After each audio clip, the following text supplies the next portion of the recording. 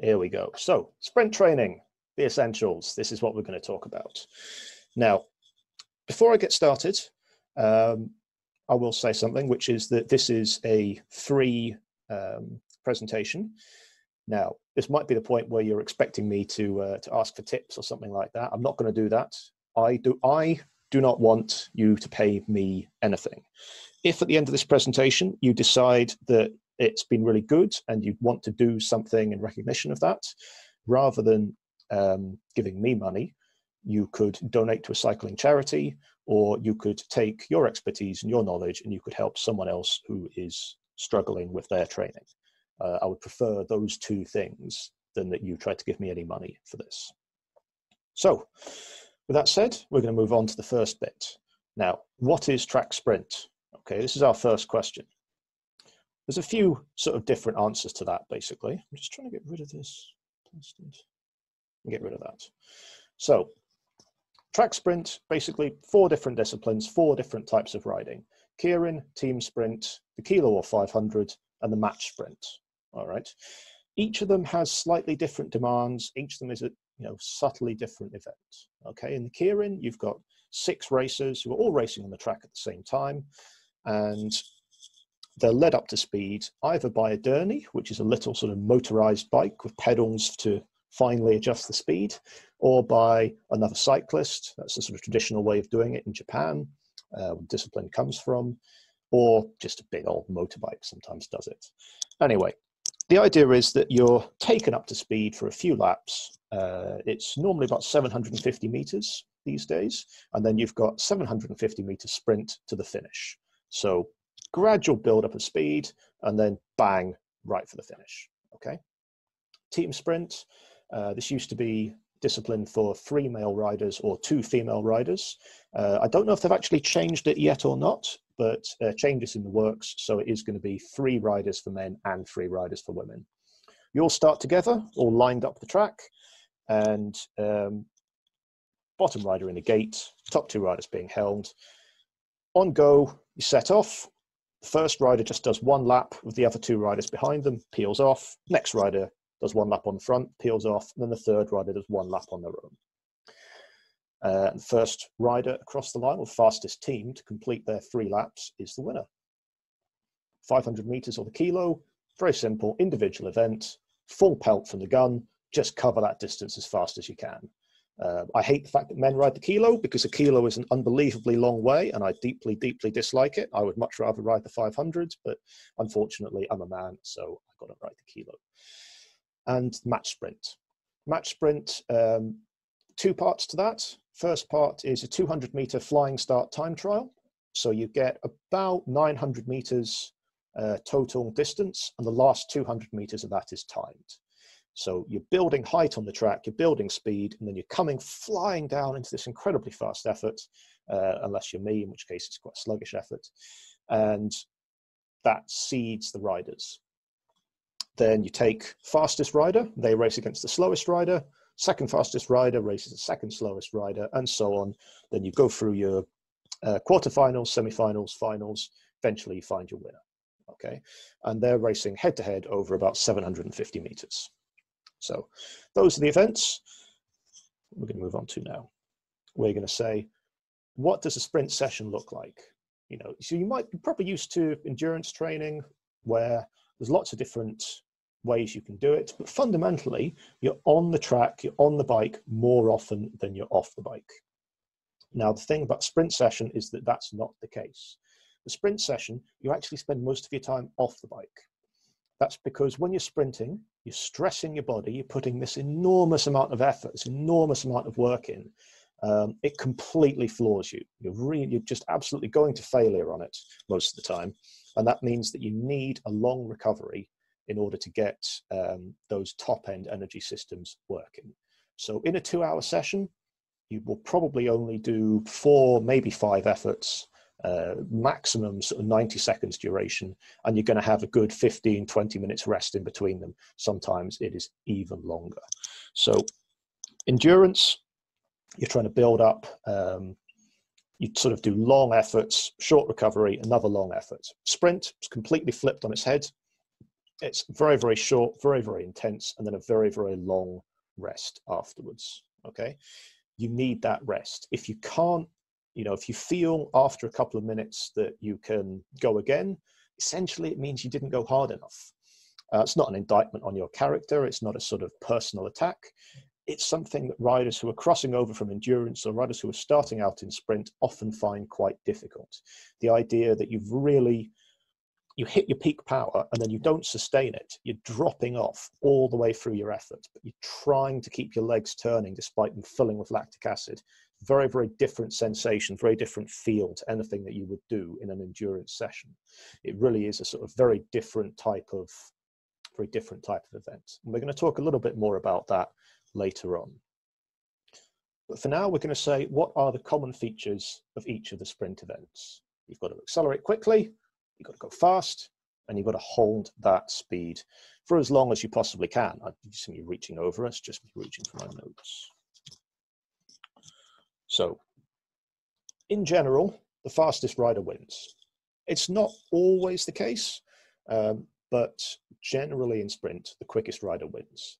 So if you're used to road racing, if you're used to track bunch racing, if you're used to anything like that, if you're a weaker rider, if you're a slower rider, then if you're tactically smart, if you're skillful, then on your day, you can get lucky and you can win. Okay. Track sprint doesn't really work like that, unfortunately. Um, on the whole, you pretty much have to be physically the fastest rider.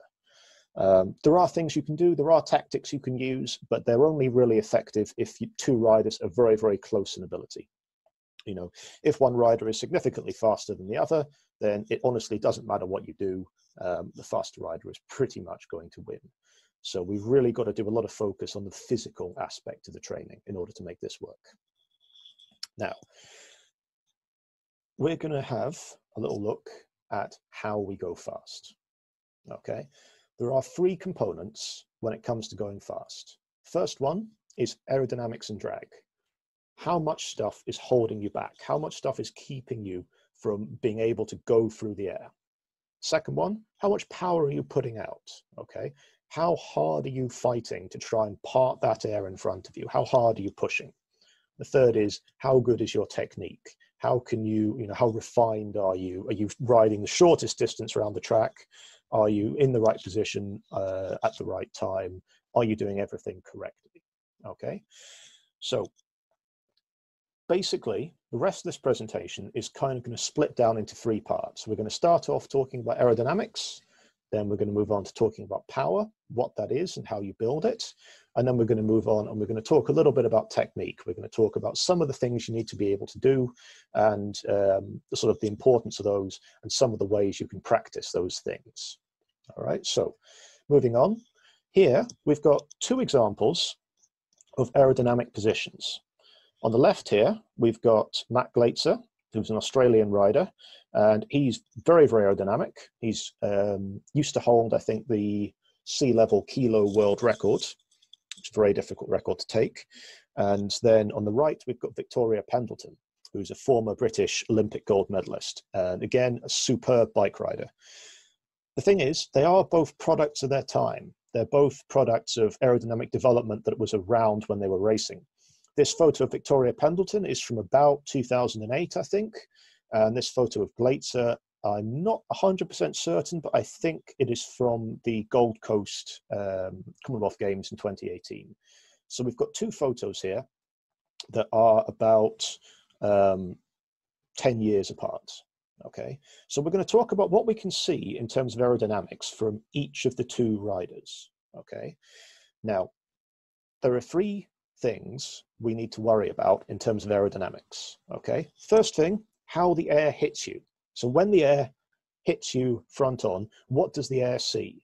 Okay, does it see a great big flat wall like that? Because that's not very aerodynamic. Or does it see something quite small, quite sharp, and quite pointy and something it can flow nicely around. Second thing, what does the air do as, as the air flows over you?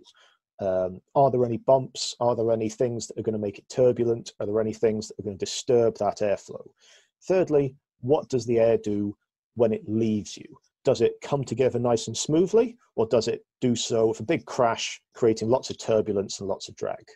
So I'm going to draw a couple of things on the screen now, and we're going to see some of the little bits and pieces um, that we can think about in those terms. So if we look at Matt Glaetzer here on the left, we're going to start out by looking at his forearms. You have a look at his forearms, you see how they've got that nice, almost horizontal angle there. What that's doing is essentially removing his whole forearm from drag. The wind just isn't seeing it because it's not really there. Whereas Pendleton on the right has a much straighter arm. So that means that the wind is hitting her forearm a lot more. And the way Glaetzer has done this, essentially, is just by having his bars slightly higher. So he's got a really good body position, but he hasn't achieved that. He's got a super low body position. You can see he's really far down on the bike. He hasn't achieved that by having his bars super low. He's achieved that by actually having his bars quite high, but by having that very, very steep bend in his arm. So it's a good way of demonstrating that not all positions are created equal. It's about how you achieve that position. Notice also, Glaetzer's handlebars are very, very narrow. Okay, Matt Glaetzer's a big man, okay? But I would say here, his handlebars are probably about the same width as Victoria Pendleton's, despite the fact I've met Victoria Pendleton and she is tiny. She's really, really small. She actually had a subsequent career as a jockey. So she's very, very small, very, very slight. Um, but she's actually got a similar bike setup to this massive, massive guy.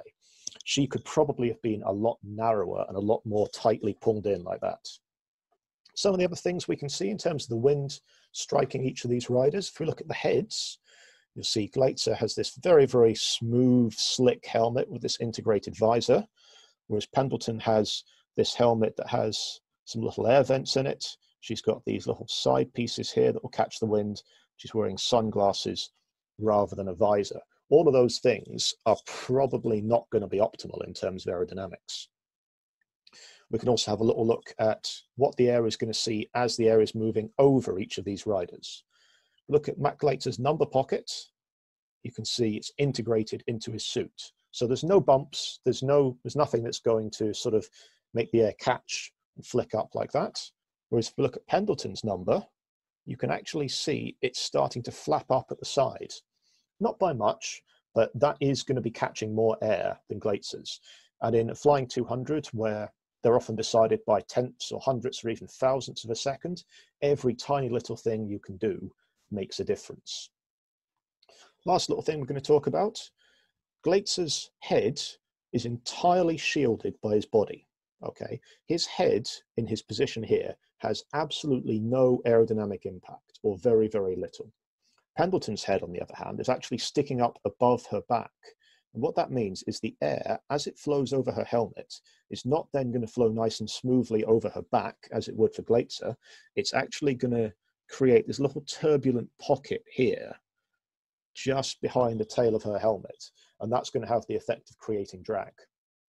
So I want to make want to make it clear this is nothing to take away from Victoria Pendleton. She's a wonderful rider, she's a wonderful person, but aerodynamics has come a long way in 10 years. And these are some of the little things we can pick out that are some of the changes you can make. So actually, as a result of doing the research for this presentation, um, I'm going to move my handlebars up because I've actually, when I ride, I've got very, very straight arms. I've realized that from looking back at photos and videos of myself doing efforts.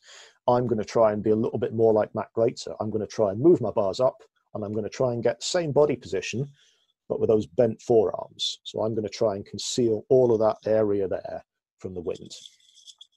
Now I'm just going to have a little check and see if we've got any questions or any chats because I can't actually see. So we're going to move on now. We've talked in general terms about the aerodynamics. We're now going to have a little look at the um, the whys and the wherefores of this. So before I move on to the next slide, I'm going to say, don't panic. Okay, don't switch off. This bit is not as bad as it seems. Okay, uh, apart from the fact that all my squiggles are still on the screen, which I hadn't realized was going to happen because, as uh, we've established, I am brilliantly superb at this. so, here we have some aerodynamic equations. Okay, now this might seem initially quite scary. Okay, a lot of people don't like the mathematics that's involved with this, but it's actually quite simple because a lot of these terms, a lot of these things we have here are not super complex. A lot of them simplify down, and a lot of them are, you know, tend to remain constant.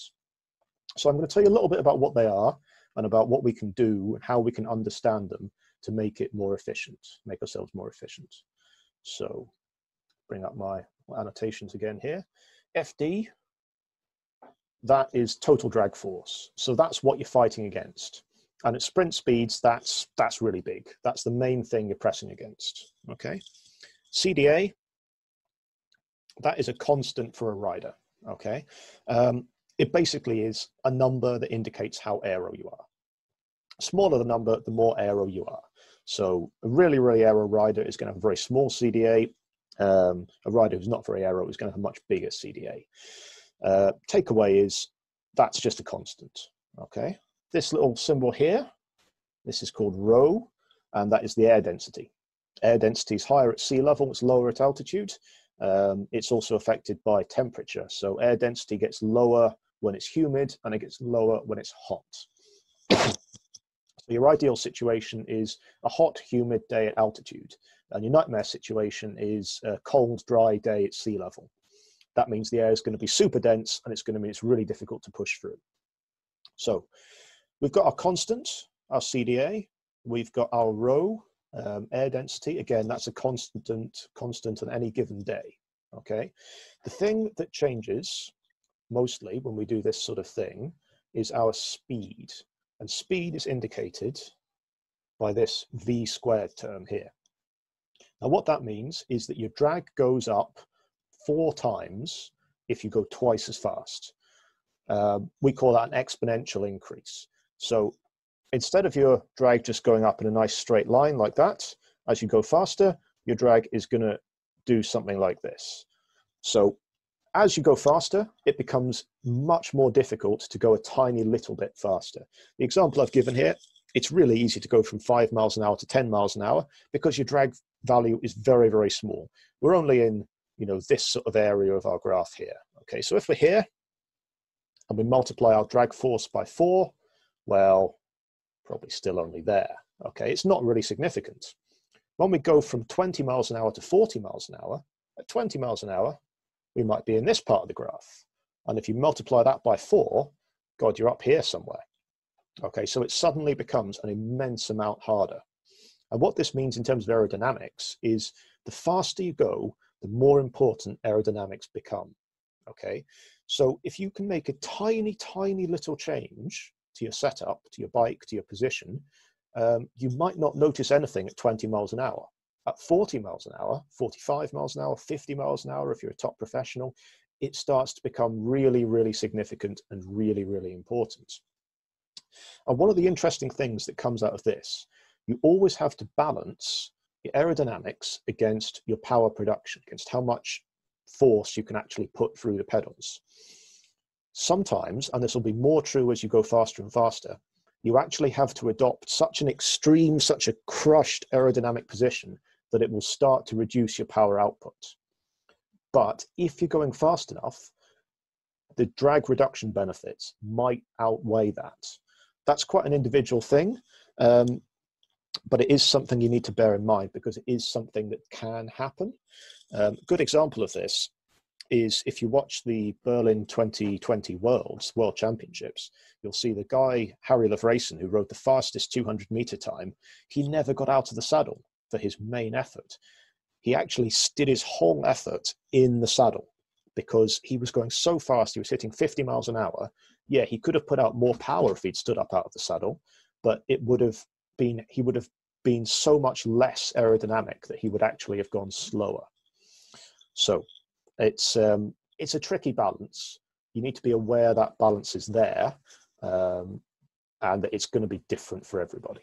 Now, we're going to move on in a second. That's my dog yelping for God knows what reason. Um, see, he's an annoying little boy. He's fine though, isn't he? Don't you, don't you come here? He's fine. So we're going to move on a little bit to our next slide. Back to where we were.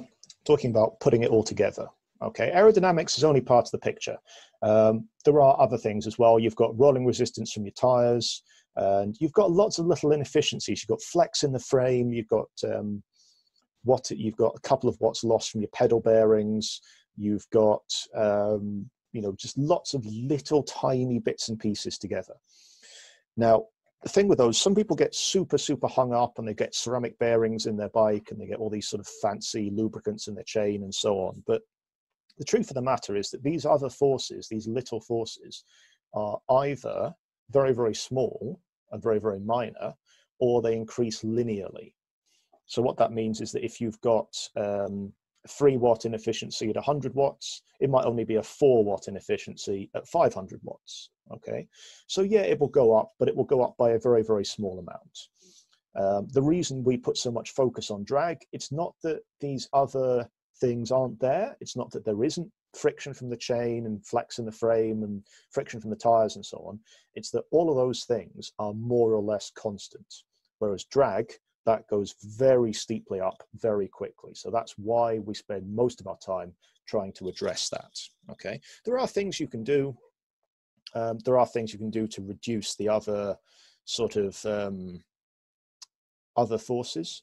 If you've got um, tires with tubes in, you can use latex inner tubes. They're a bit quicker. Um, you use bigger chain ring on the front and a bigger sprocket on the back, so the chain doesn't have to bend through such a tight radius. That's been shown to make a difference.